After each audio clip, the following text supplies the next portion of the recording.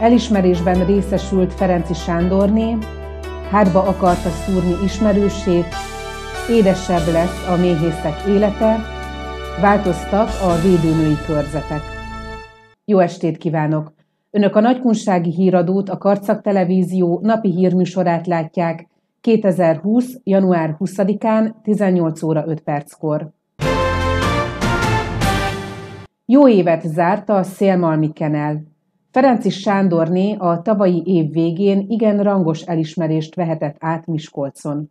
Sikeres évet tudhat magáénak Ferenci Sándorné, a Szélmalmi Kenel tulajdonosa, aki az úgynevezett munkakutya kiképzésen elért eredményeiért Miskolcon vehette át elismerését. Most nagyon szépen zártuk az évet, hát tudok büszkélkedni, egy évvel ezelőtt is kaptam, mert végül is én Karcagon is tag vagyok, meg Miskolcon, az én kutya iskolámba, meg a Miskolci Egyesületbe, és oda is átjárunk, mert ott is nagyon rendes emberek vannak, és akkor ott tavaly a télapó által kaptam egy, egy elősmerő oklevelet, majd meg is tudom mutatni, és akkor évvégén a sok éves tagságom munkáját egy nagyon szép díjjal jutalmazott meg a MEOE szövetsége, és a Miskolci elnök jó voltából Magyarósi Istvánnak hívják. Hát a díjátadás az nagyon szépen zajlott, ugye Budapesten volt, és ott kaptuk meg úgy többszörösen, mert ugye ez az sok éves munkás, sok kutyás volt ott, és akkor úgy, úgy minden, minden elért eredménnyel megjutalmazták. A munkakutya nem azonos a kiállításra felkészített kutyánkkal. Közel 40 éve, hát 30 éve munkakutyázok, BH vizsgákat csináltam a kutyáimmal, IPO, egy IPO 2 munkavizsgát, és én öt éven keresztül eljártam Szegvára, ilyen munkakutya versenyekre. Hát, hogy mondjam, nem jutottunk be, de azért mindig a három, négy, ötödik helyen mindig ott voltunk.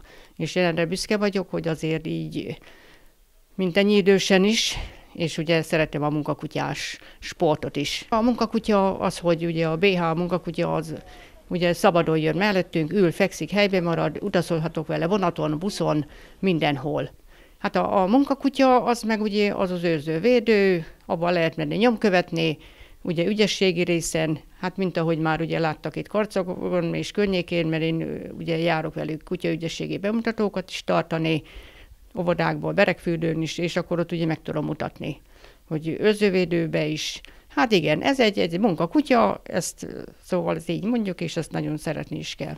A Szélmalmi Kenel kutyusaival rendszeresen találkozhatunk városi rendezvényeken. A városban található összes óvodákban jártak már kutyabemutatókkal. A vezető fontosnak tartja a gyerekek kapcsolatát a kutyánkkal. Az idei év sem fog elmúlni úgy, hogy ne találkozhatnánk a kiképzett kutyánkkal. Bízok benne, hogy egy év múlva, hát most ugye jön a jó idő, már Karcagon van három német juhász kutya, amiben segítek BH munkavizsgára, azt most, ha sikerül, ugye tavasszal, májusban megcsináljuk, és akkor az már három, akkor a sajátaim, meg jelenkeznek, hogy jönnek, és hogy segítsek nekik ilyen munkavizsgákba. Fontos tudni, hogy a munkakutya teljesítményét alapvetően a génjei által meghatározott képességei, az elvégzett edzések során kialakult kondíciója és a táplálék határozza meg. Ilyen például a szibériai husky közepes termetű, gyors és elegáns mozgású, minden szélsőségtől mentes munkakutya. Eredeti funkciója szánhúzó, könnyű terhet közepes sebességgel nagy távolságra képes elhúzni. Barátságos, kedves, intelligens, tipikus társaságkedvelő, nehezen viseli az egyedülétet, nem házőrző típus. Hátba szúrta egy ismerősét egy török Szent Miklósi férfi, mert el akart menni a házából. A férfi annyira ideges volt, mert nem tudta, hol van a felesége, hogy ismerőseit nem engedte el a lakásból. Végül az egyik férfit hátba szúrta, állítása szerint véletlenül. Mindezt pedig végignézte a szurkáló férfi unokája is. Megrázó tudósítás következik.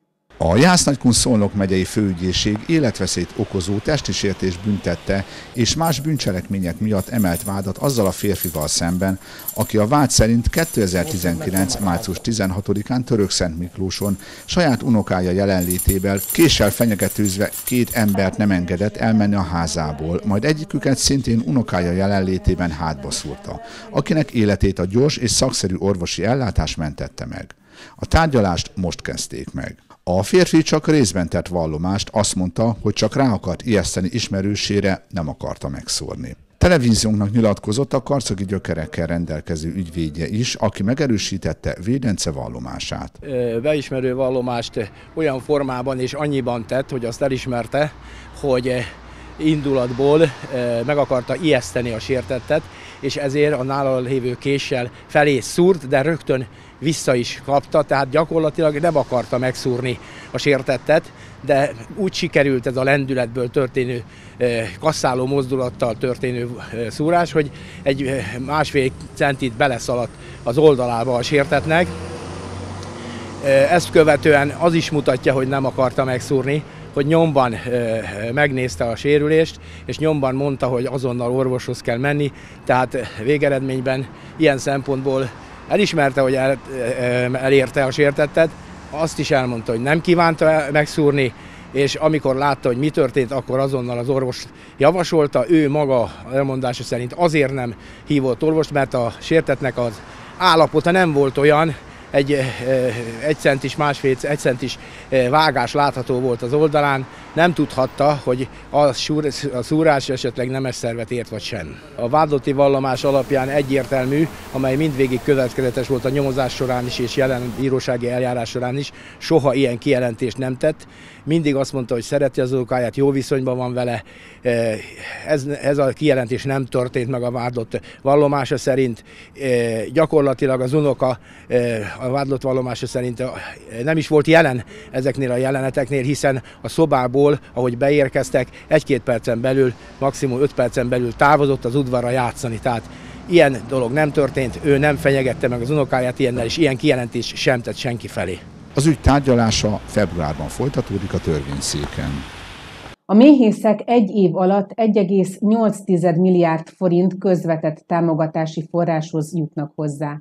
A keretből mély anyát, mély egészségügyi gyógyszereket vásárolhatnak, támogatást kapnak szakmai továbbképzésre, szaktanásadást vehetnek igénybe, és hozzájuthatnak a legfrissebb szakirodalomhoz. Az agrártárca ez évtől a mély családonkénti beporzási támogatást 500 forintról 1000 forintra növelte.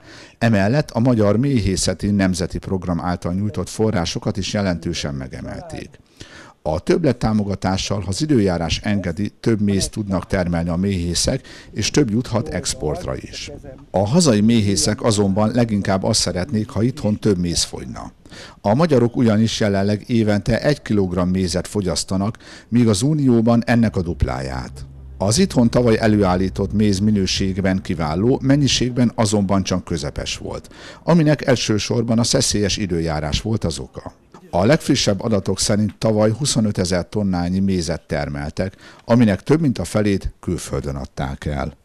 Szükségessé vált az iskola védőnői körzetek módosítása, mivel a gyermeklétszám csökkenő tendenciát mutat, és önkormányzatunk nem kaphatja meg a 100%-os normatív támogatást az iskola védőnői körzetek változatlanul hagyása mellett.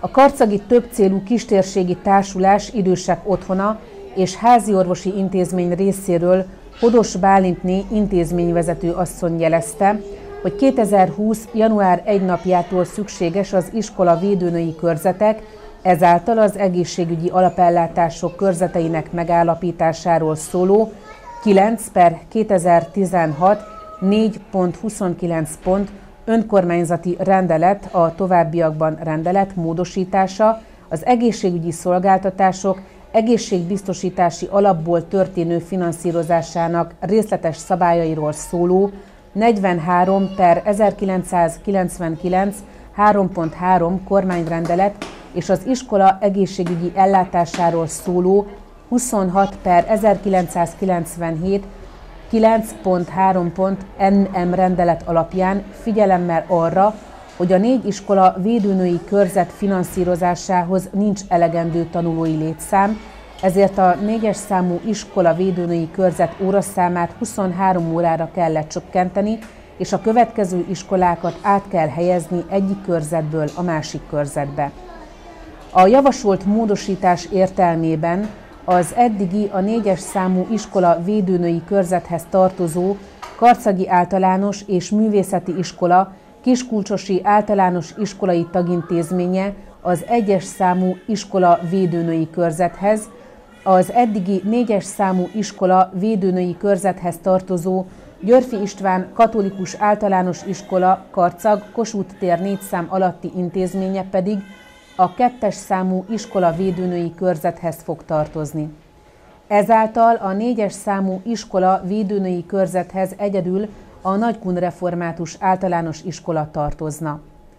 A rendelet elfogadása óta az egyes köznevelési intézmények nevei átszervezés és jogszabályi változások miatt módosultak, így ezek aktualizálása is szükségessé vált. Jelenleg a négyes számú iskolai védőnői körzet betöltetlen, ezért további létszámcsökkenés esetén megszüntetésre kerülhet sor. Az előzetes hatásvizsgálat alapján a szabályozás változás várható következményeit tekintve az alábbiak állapíthatóak meg. Társadalmi, gazdasági, költségvetési hatás. A jelenleg biztosított egészségügyi ellátás nem változik, költségvetési hatása jelentős, ezáltal biztosítható 100%-os normatív támogatás a feladat ellátására. Környezeti és egészségi következményei a rendelet módosítás nincs rá kihatással. Administratív terheket befolyásoló hatás nem jelentős. A jogszabály megalkotásának szükségessé, a jogalkotás elmaradásának várható következményei, a rendeletmódosítás elmaradása esetén a feladatellátás normatív finanszírozása lecsökken. A jogszabály alkalmazásához szükséges személyi, szervezeti, tárgyi és pénzügyi feltételek nincs rá negatív hatása. A rendelettervezet vonatkozásában az Európai Unió intézményeivel és tagállamaival egyeztetési kötelezettség nem áll fenn, nem tartozik az előzetes bejelentési kötelezettség alá tartozó jogszabálytervezetek közé. Kötelező véleményezés. Az egészségügyi alapellátásról szóló 2015. évi törvény a továbbiakban alapellátási hatodik paragrafusa szerint a települési önkormányzat képviselőtestülete a kormány által kijelölt praxiskezelő által megadott szempontokat figyelembe véve a rendeletben megállapítja és kialakítja az egészségügyi alapellátások körzeteit. Több településre is kiterjedő ellátás esetén a körzet székhelyét az érintett települési önkormányzatok erre irányuló megállapodásában határozzák meg. A kettő egyes bekezdés szerint körzetek megállapítása és kialakítása során ki kell kérni az alapellátásért felelős országos módszertani intézet védőnői ellátás esetén az országos tisztifőorvos, valamint a működési engedély kiadására hatáskörrel rendelkező egészségügyi államigazgatási szerv véleményét is. A működési engedély kiadására hatáskörrel rendelkező egészségügyi államigazgatási szerv, azaz a Jásznagykun Szolnok megyei kormányhivatal, Karcag járási hivatal népegészségügyi osztálya részéről a járási vezető védőnő és a járási tiszti főorvos 2019. december 7. napján kelt levelében úgy tájékoztatta önkormányzatunkat, hogy az alapellátási körzeteket megállapító önkormányzati rendelet tervezett módosításának megfelelőnek tartják. A Nemzeti Népegészségügyi Központ vezeti dr. Müller Cecilia, országos tisztifőorvos önkormányzatunknak címzett 2019. december 10. napján kelt levele értelmében áttekintették az önkormányzati rendelet tervezetét, valamint a járási vezető védőnő szakmai véleményét, amely a megfelelő színvonalú védőnői ellátás biztosítása érdekében a település földrajzi egységét, szerkezetét, a lakosság összetételét, a megközelíthetőséget, az ellátható gondozottak létszámát és finanszírozhatóságát is figyelembe vette, amely alapján a védőnői körzetmódosítással kapcsolatban a Nemzeti Népegészségügyi Központ nem tesz észrevételt, tájékoztatta televíziónkat Dobos László polgármester. Kedves nézőink, napi hírműsorunkat a Nagykunsági híradót látták. Riportjainkat újra megnézhetik internetes felületünkön, a www.karcagtv.hu weblapon. Viszontlátásra!